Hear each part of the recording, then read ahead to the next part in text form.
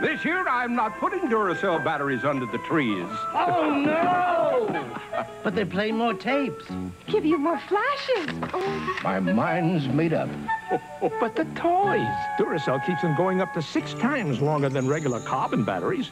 They have to go under the tree. Nope. This year, I'm putting Duracell in the stockings. Duracell, a great stocking stuffer.